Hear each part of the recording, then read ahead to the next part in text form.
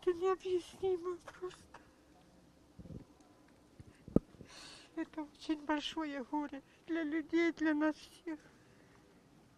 Жодних військових об'єктів, лише житлові будинки. Утім, увесь світ вже знає, що російська армія воює проти мирного населення. Лише за день окупанти зруйнували тут близько 200 будинків, гатили по людям зі смерчів та випускали іскандери.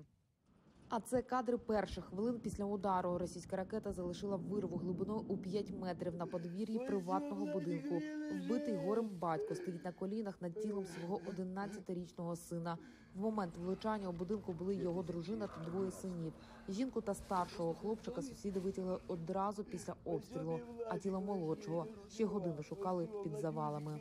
Він в домі був, оце його викинуло. Ми там розвалля шукали, це все, а він тут лежав. Ніхто не знав, що він тут лежить. Ніхто не знав. Думали, може на кришу викинули, а оказується, ось він тут. Якби з самого початку час. Час він тут лежав, ніхто не знав, що він тут лежить. Нині матір і 13-річний син у лікарні. У хлопця перелам гомілки та садна. Ми зробимо все, щоб дитина одужала і продовжувала ходити, як ходила до травми. Через масований ракетний обстріл в різних лікарнях Дніпропетровщини перебуває три десятки постраждалих. Ще 25 людей загинули, їх вбили російські снаряди. Крім того, жертвами стала і ціла родина переселенців, що просто проїжджали поряд із залізницею.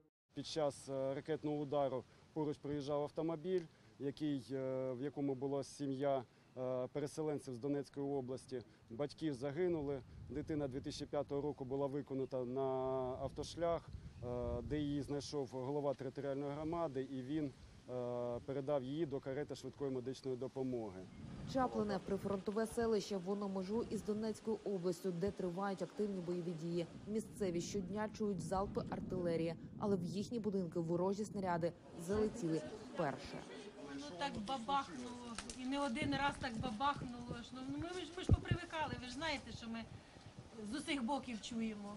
Десь бабахкає кожен раз. Ну, бабахкає та й бабахкає. Ніхто ж не ожидав, що бабахне прямо тут.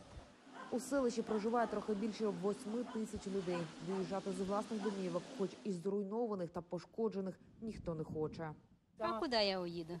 Хто мене де жде? Буду сидіти тут. Прийдуть, уб'ють, значить уб'ють. Це ж таке діло. Скільки знадобиться часу та коштів на відновлення чиновники поки не беруться прогнозувати. Лише кажуть, місцеві підприємці вже почали допомагати. Хтось фінансово, а хтось і будівельними матеріалами. З Дніпропетровської області Олена Менделюк, Роман Вишинов, подробиці телеканал Інтермарафон. Єдині новини.